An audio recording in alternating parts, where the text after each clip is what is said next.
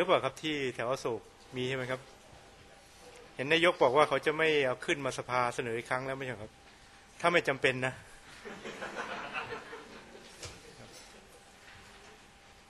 ก็สำหรับท่านที่ไม่เคยได้มาฟังนะครับ SVI เป็นบริษัททำธุรกิจ EMS EMS ก็คือ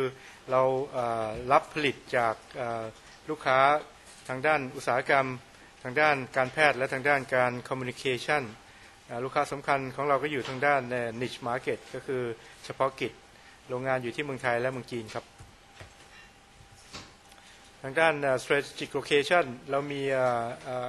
ออฟฟิศอยู่ที่เดนมาร์กเป็น purchasing office ซึ่งเป็นจุดยืนของเราทำให้เรา cover ทางด้าน southern Scandinavia ได้อย่างดี ตอนนี้เราใหญ่ที่สุดกลับมาเป็นใหญ่ที่สุดใน southern Scandinavia อีกครั้งหนึ่ง จุดประสงค์ต่อไปก็คือต้องคุมทางด้าน northern Scandinavia ให้ได้ครับเรามีออฟฟิศอยู่ที่เซนเจนแล้วก็ฮ่องกงสำหรับ SBI China อ่า SBI เทียนจีนก็ยังยังรันธุรกิจอยู่ที่นั่น แต่กำลังจะมีการเปลี่ยนแปลง นี่ทางด้านเมืองไทยเป็นอุตสาหกรรมที่เหมาะสมสำหรับเลเบอร์ที่ที่เราอยู่ในเมืองไทย มีความสามารถทางด้าน engineering สูงทำให้ product เรามีความ สามารถที่จะเปรียบเทียบกับในยุโรปได้ ดึงลูกค้าก็ไม่ไม่ใช่สิ่งที่ยากเย็นครับโรงงานของ SVI โรงงานเฮดออฟฟิศเราอยู่ที่บางกะดี นิคมอุตสาหกรรมบางกะดี 38,000 ตารางเมตร โรงงานนี้มีโอกาสที่จะขยายได้อีก เรา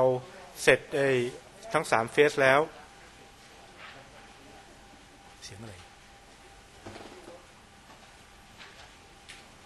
อ๋อ มีมีตึงนึงข้างหลัง ครับ ก็มีโรงงาน head office อยู่ที่บางกะดี โรงงานที่สองเรายังไม่ได้เริ่มก่อสร้าง เราตั้ง budget ปีนี้ไว้ที่จะเข้าไปทำประมาณร้อยร้อยยี่สิบล้าน แต่ไม่ได้ใช้ เพราะว่าเรา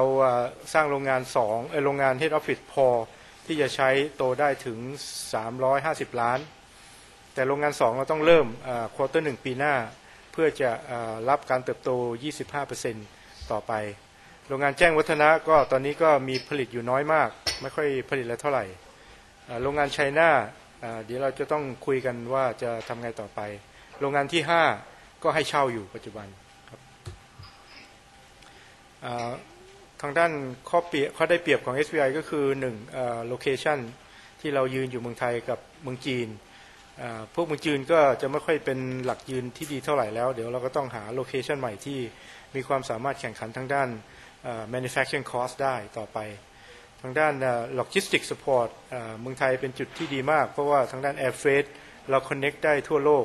เราไปในยุโรปใช้เวลาแค่ 12 ชั่วโมง เราไป US ก็ 24 ชั่วโมง ญี่ปุ่นแค่ 6 ชั่วโมงก็ไปถึงได้แล้ว ยิ่งสถานการณ์ปัจจุบันตลาดญี่ปุ่นเป็นตลาดที่น่าสนใจมาก เพราะว่าเราส่งคนไปทำงานที่นู่น ได้ด้วยด้วยด้วยด้วยวิธีที่ไม่ต้องหาไม่ต้องมีวีซ่าอย่างยุ่งยากเหมือนเมื่อก่อน ก็เป็นตลาดที่เราต้องการความเจริญเติบโตมากขึ้น ทางด้าน tax เราได้ BOI ทำให้เรามี cost advantages กับคู่แข่งเราที่ที่อยู่ในยุโรปการ set up cost สำหรับ product ที่เราเริ่มใหม่ก็จะถูกกว่าเขาทำให้เรามีความสามารถที่จะเอ่อ engineer เข้าไปสนับสนุนได้อีกหลาย หลายหลายหลายทางเพื่อจะให้ product เกิดขึ้นได้รวดเร็วขึ้น ทางด้าน flexibility เราก็มีอารมณ์รวยวิธีการที่จะผลิตกับลูกค้า ทางด้าน resource แล้วก็มี labor ที่เราจ้างได้ไม่ไม่ยากเท่าไหร่เดี๋ยวนี้ risk mitigation เราไม่มีลูกค้าเจ้าใดเจ้าหนึ่งที่โตเกิน 30%ของเราเอ่อลูกค้าเรามีมากพอที่จะทำให้ risk ลดลง ปัจจุบันนี้เรามีประมาณ 26 ลูกค้า ลูกค้าหลักๆ เราก็ประมาณ 12 เจ้า 12 เจ้าก็ 70%ของยอดขายเรา นี่ถ้าหนึ่งใน 12 เจ้าลดลงไปเราก็ดึงส่วนที่เหลือขึ้นมาได้ เพราะทุกลูกค้าทุกเจ้าเรามีความสามารถที่จะเติบโตได้ อยู่ที่เราจะโฟกัสได้แค่ไหน ทางด้าน geographic expansion ตอนนี้เรา concentrate อยู่ที่สแกนดิเนเวียเรามีลูกค้าในยุโรป จุดต่อไปที่เราต้องทำก็คือตลาดใน US กับตลาดญี่ปุ่น diversify portfolio ก็คืออธุรกิจเราเราข้ามไปหลายหลายหลายธุรกิจทางด้าน อุตสาหกรรมทางด้าน niche นะ medical ทางด้าน component ทำให้ความเสี่ยงที่จะไปพึ่งธุรกิจส่วนใดส่วนหนึ่งน้อยลง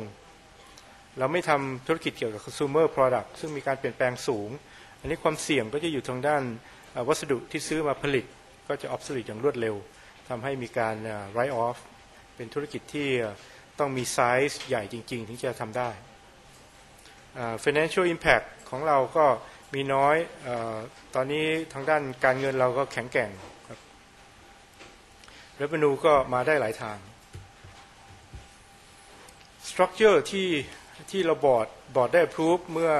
เมื่อเมื่อาทิตย์ที่แล้วก็คือเปลี่ยนจากไอ้ structure ที่เราสร้างขึ้นมาเพื่อจะเอ่อลด cost หรือว่าที่จะซื้อของ ให้ราคาต่ำลงจากตลาดยุโรปมาตลาดเอเชียอ่า structure นั้นมีความสำเร็จและทำงานได้ดี ปัจจุบันนี้เราก็โอนกลับมาเป็นชื่อของ SBI อย่างเก่าได้แล้วด้วยราคาใหม่ที่ถูกกว่า structure ที่ 2 ที่เราสร้างขึ้นมาก็คือเพื่อจะ handle โรงงานในในเมืองจีน เทียนจินเพื่อให้ปัญหาเกี่ยวกับจีนเปลี่ยนแปลงนโยบายต่างๆ ไม่มากระทบกับบริษัทแม่ที่เมืองไทย แล้วก็ตั้ง layer หลาย layer ขึ้นมาเพื่อจะปกป้องบริษัท อันที่3ที่เราสร้างขึ้นมาก็คือในไต้หวันเพื่อจะทำ purchasing สำหรับ high volume IC ต่างๆ ซึ่งปัจจุบันนี้เราก็ใช้เป็น VMI โปรแกรมสำเร็จแล้ว ทางด้านโปรแกรมนั้นก็ดึงตรงมาเมืองไทยได้แล้ว ก็สตรัคเจอร์จากที่เซนเจนกับที่ที่เมืองจีนที่ไต้หวันก็คล้ายๆกันต่างกันก็คือคอมโพเนนต์คนละคอมโพเนนต์ พอพอเราดึงกลับเมืองไทยได้ด้วยราคาใหม่ปุ๊บ structure พวกนี้ไม่มีความจำเป็นที่ต้องมีอยู่ เราก็จะปิด Globe Vision เราก็จะปิดซื่อเวซื่อเวภาษาจีนก็แปลว่า SVI ซื่อเวเราก็ปิด เพราะว่าเราซื้อตรงได้แล้วด้วยราคาใหม่ แล้วก็เทียนจินโรงงานเทียนจินปัจจุบันนี้ค่าแรงในเมืองจีนแพงกว่าค่าแรงในเมืองไทยเยอะ แล้วก็ข้อสำคัญก็คือ ไซส์ในเมืองจีน ธุรกิจไซส์เล็ก ประเทศจีนเขาไม่สนับสนุนทำให้เราต้องเสียภาษีก็คืออนาคตมันน้อยลงค่าเช่าก็แพงขึ้น เราก็ตัดสินใจจะปิดไอ้เมืองจีน แล้วก็จะไปเปิดที่อื่นแทน หลังจากปิด structure สี่อันที่เราที่เราคุยกันไว้ เราก็จะเก็บไว้อันเดียวก็คือ SVI ฮ่องกงกับ SVI เซินเจิ้นซึ่ง SVI เซินเจิ้นเป็น sales office อยู่ในเซินเจิ้น SVI ฮ่องกงก็อยู่ในฮ่องกง ฮ่องกงก็จะ handle เรื่องเงินเซินเจิ้นเราไม่อยากเอาเงินไปทิ้งไว้ในเมืองจีน ก็เงินก็จะไปอยู่ที่ฮ่องกงแล้วก็จะเดียวกับเซินเจิ้นเพื่อจะดูพวก payroll พวกพวก investment ต่างๆ หรือว่าลูกค้าที่ต้องการ funnel จากเมืองจีนก็จะเข้าอ่า SVI ฮ่องกงมาเมืองไทย SVI เดนมาร์กก็ยังอยู่ปกติ อันนี้เป็นจุดยืนของเราในสแกนดิเนเวีย ก็จะยุบไปสามอันก็คือ Globe Vision ซื่อเว SVI เทียนจินแล้วก็อีกหนึ่งอันในไต้หวันก็เป็นสี่อันทั้งหมด นี่เราก็จะไปเปิดอันใหม่ใน US เพื่อจะเข้าตลาดใหม่ เรามีพนักงานอยู่ใน US แล้ว เราก็จะไปเปิดบริษัทที่นั่นนี่ structure นี้ก็จะจะมามามาเสนอให้ท่านฟังอีกทีในสามเดือนข้างหน้า เพื่อจะปกป้อง SBI เมืองไทย เพราะอเมริกาทางด้านภาษีก็ก็รุนแรงเหมือนกัน เราต้องหา tax efficient vehicle มาเพื่อจะเดียวกับธุรกิจในใน US ถ้าไปตรงๆจะจะโดนภาษีหนักต้องหาวิธีแก้ปัญหานี้ก่อนส่วนที่สองก็คือเกี่ยวกับ shareholder structure จะสังเกตว่า 3 เดือนที่ผ่านมามีการเปลี่ยนแปลงมี announce มาเยอะแยะไปหมด ก็ก็เพื่อจะให้บริษัทเรามีความสามารถที่จะเติบโตได้ทางด้าน MFG Solution ซึ่งผมถือหุ้นอยู่ส่วนใหญ่ก็ขายหุ้นให้ให้ผมเป็นส่วนตัว ก็ไม่มีอะไรกันไม่มีเปลี่ยนแปลงอะไรก็คือผู้ถือหุ้นก็เท่าเก่าตอนนี้ผมมีอยู่ 825 ล้านหุ้น MFG มีอยู่ 158 ล้านหุ้น500 158 ล้านหุ้นเนี่ยก็จะขายให้ผมถ้าถ้าผมมีสตังค์พอที่จะซื้อ แต่ตอนนี้กระเป๋าซ้ายกระเป๋าขวายังไม่แมทช์กันร้อยมันแมทช์กันเดี๋ยวซื้อใหม่ ก็ MFG ก็จะไม่มีหุ้นของของ SBI ก็จะเหลือแต่ชื่อผม แล้วก็มีเจ้าใหม่เข้ามาคือ Eagle Mile Asia Equity เข้ามาช่วยถือ ก็เป็นบริษัทจากฮ่องกง ก็ซื้อขายหุ้น SBI ผ่านผ่านคนกลาง ราคาที่เขาซื้อขายก็ 3.94นะครับ3.94 บาท ก็สูงกว่าราคาตลาด เขาเขาไม่ได้ซื้อ 3.94 เพื่อราคาหุ้นมันจะลงนะครับเขาซื้อ 3.90ราคาหุ้นมันควรจะขึ้น พวกนี้ก็ต้องหวังเกณฑ์อย่างน้อย 30% 30-40%ไม่งั้นเขาก็ไม่ไม่ซื้อ